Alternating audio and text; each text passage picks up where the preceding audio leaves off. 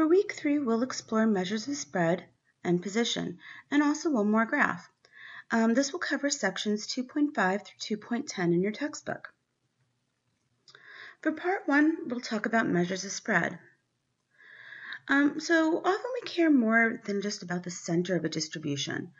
Uh, in other words, more than just the average, the median, or the mode. For example, suppose that I go to the grocery store, uh, grocery store four times in a month and I spend $90, $20, $170, and $120. So my grocery trips are kind of all over the place. Um, my friend, however, also goes to the grocery store four times a month, but she spends $100, $95, $102, and $103. We both spend an average of $100 per trip. However, is our shopping behavior the same?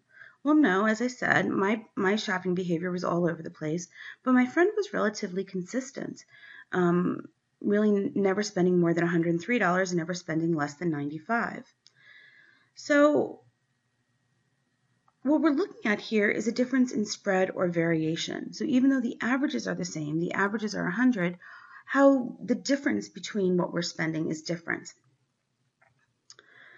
So how can we actually measure the spread? So there's going to be three ways. The three ways are range, variance, and standard deviation. Range is the difference between the largest and the smallest values in the sample, or in other words, max minus min. It is the easiest measure of variation to calculate and to understand, but it's not very useful, because all it's doing is taking a difference between the largest and the smallest.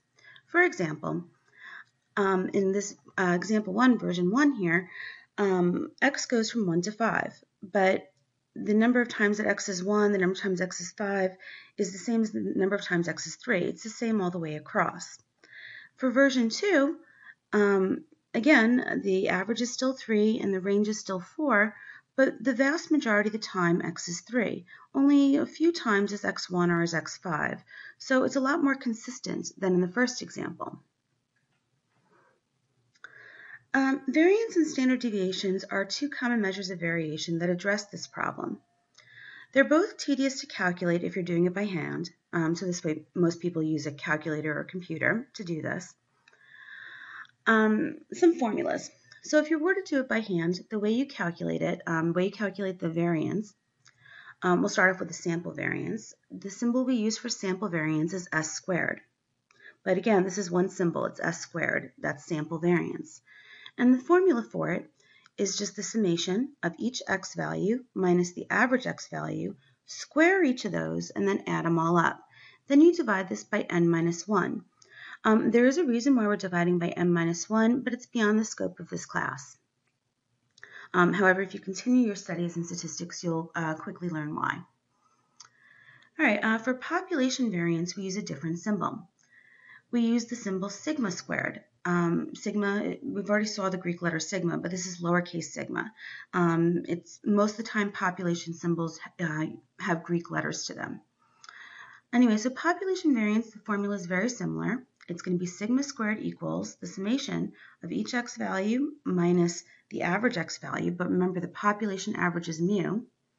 Square each of those, add them all up, and divide it by the population size, the population size being capital N, as we saw earlier when we're dealing with uh, population means. Okay, um, so standard deviation. We'll start off with sample standard deviation. The sample standard deviation is just the square root of the sample variance.